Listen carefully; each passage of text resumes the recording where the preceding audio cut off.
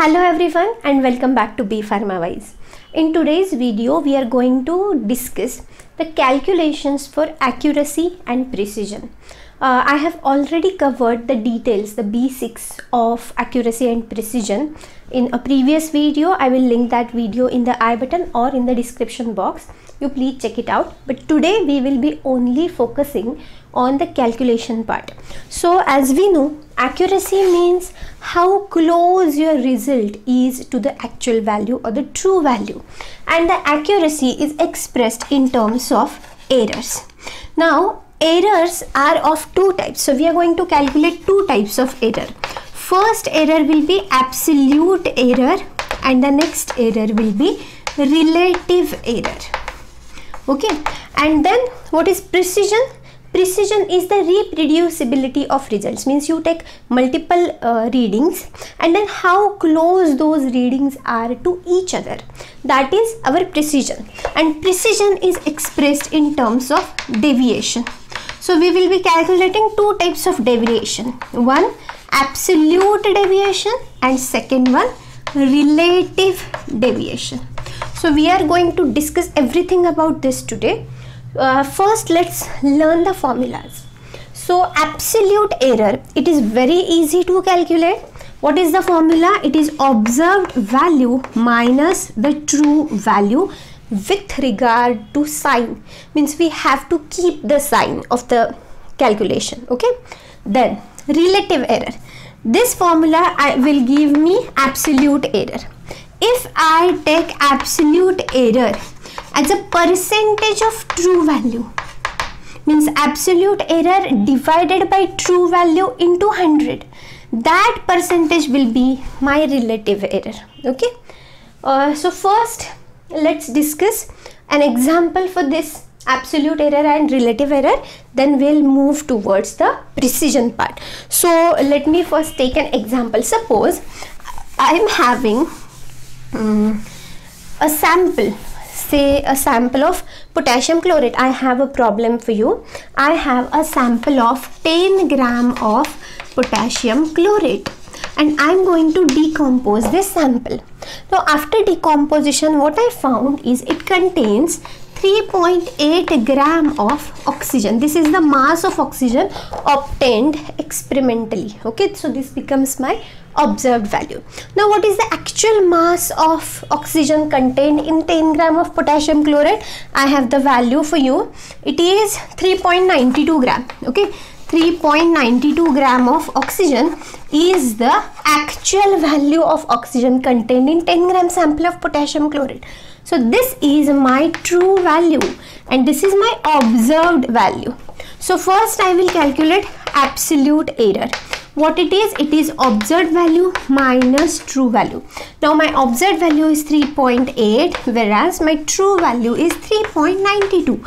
So what I get? I get minus 0.12 I get minus 0.12 now why we have to keep the sign the sign the negative sign here indicates that my observed value is less than the true value so if I am getting answer in negative it means my observed value is less than the true value. If my answer is positive, it means my observed value is more than the true value. So this sign is very important. So this is absolute error. Now let's calculate relative error. Now how we calculate relative error? Absolute error with respect to true value as a percentage. So what is my absolute error? You can see here. With sign minus 0.12 upon what is the true value? 3.92 grams into 100 now if you solve this you'll get the answer. I have solved it for you. You'll get the answer 3.06 percentage. I will keep the sign so this is relative error. Means my observation is 3.06 percent less than my true value. Okay? So this is how we calculate absolute error and relative error. This is for accuracy. Now let's move towards precision. How we are going to uh, you know how we are going to calculate deviations. So first let me give you an example. Suppose let's take the same example. I have 10 gram potassium chloride sample but what i told you what is precision? It is reproducibility of results. Means we are going to have more than one result. We will be having set of measurements. Why we do carry out such measurements in sets because we want to minimize the errors right? So the similar sample the identical sample will be analyzed under the identical set of conditions for multiple times. So here i am taking n is equal to 3 means we will take 3 readings of the same sample under same conditions. And then what i will get? Uh, suppose 10 gram sample i have taken. For sample 1 i got the percentage of oxygen. I'm continuing the last problem so that you will be uh, it will be easy for you to understand. So i have this sample three samples identical samples one two three and the amount of oxygen which i am getting after decomposition of the sample is the first value is 3.87 the second value is 3.95 and the third value is 3.89 so these three uh, values I'm having as my set of measurements. Now what I am about to calculate absolute deviation relative deviation. So please pay attention. It is very simple but uh, let's make it very simple. So this is my set of measurement. Now what I will do I am having three samples three results. So I will take out mean of these results these these are my observed values. This is observed value 1 this is observed value 2 this is observed value 3 now i will take mean of these three observed values. So what i will do? My reading number 1 plus my reading number 2 plus my reading number 3 hmm? these are my three readings. I will sum them up and then divide it by 3 this is how we calculate the average or the mean reading. So when we do so the answer comes 3.90. So 3.90 gram is the mean of my set of measurements. Okay. Now what I am going to do is I am going to calculate absolute deviation. Now absolute deviation the formula is it is the modulus of observed value minus mean of the set of measurements. Now here you can see we will not consider any sign for this. For deviation it is always without regard to sign. For errors it is always with regard to sign. So absolute deviation for first reading. How i will calculate the first reading for uh, uh, absolute deviation?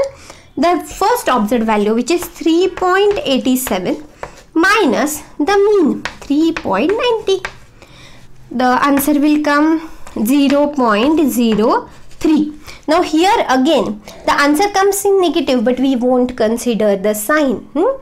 Next for second sample how what, what I will get 3.95 minus 3.90 so the answer will be 0.05 for 3.89 minus 3.90 the answer will be 0.01 you can easily figure out that I have not considered any signs right okay now I have got absolute deviations with me.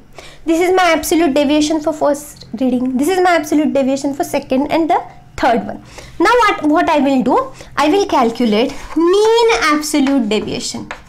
Mean absolute deviation. So what I will do? I will add these three readings and divide it by 3 so what I will get? 0.03 plus 0.05 plus 0.01 divided by 3 so it comes 0.09 by 3 0.03 gram. So this is my mean absolute deviation. So what we have done so far i'll tell you. I have set of readings for a particular measurement. The there is three readings. There are three readings I have taken mean of those three readings that is my mean. Now I have calculated absolute deviation for each of the reading and then I have determined the mean absolute deviation of those three absolute deviations. Now let me tell you how to calculate relative deviation. relative deviation is nothing but ratio of mean absolute deviation to the mean of set of readings expressed as percentage. Means what I will need? I will need mean absolute deviation which is this value. So it is 0.03 then that mean means the mean of my original readings. So it will come 3.90 and multiplied by 100 will give me the percentage. So if I solve it the answer comes 0.8 percent so this is going to be my relative deviation.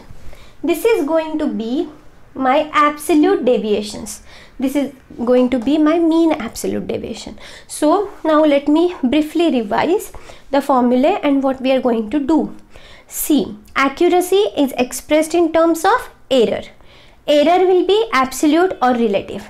Absolute error is just observed value whatever you have observed experimentally minus the actual value or the true value with regard to psi once you get absolute error, just divide it by true value and multiply it with 100, you will get relative error. Now for precision, for precision we calculate for a set of readings. So we need multiple readings. Here I have considered three readings for that. Then for each reading, I will have some value that will be my observed value.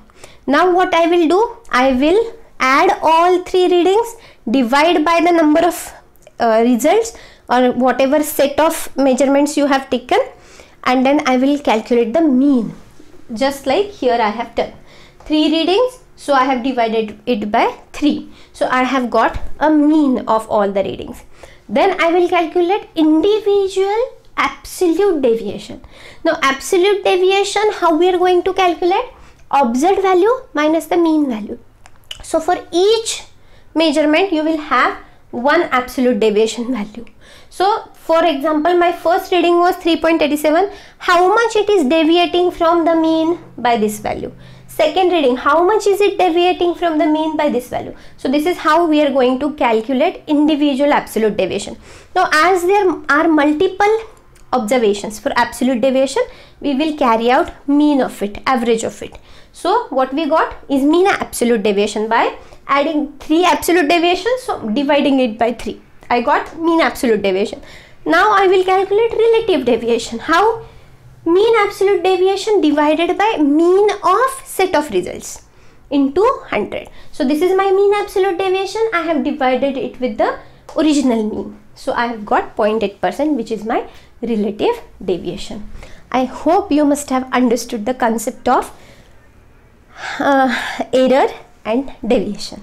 So if yes please don't forget to like the video share it with your friends subscribe to the channel press the notification bell and keep watching Be PharmaWise I will see you in the next video. Till then you take care. Bye bye